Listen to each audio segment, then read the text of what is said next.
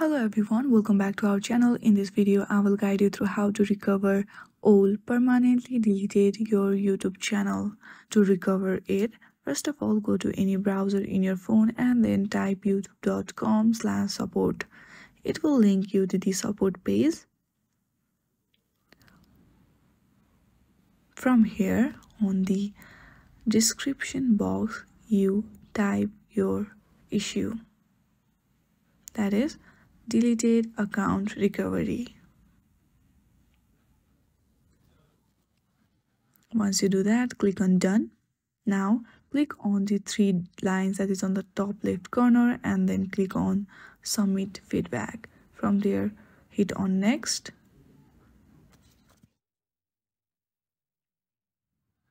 Now type that you want to recover your deleted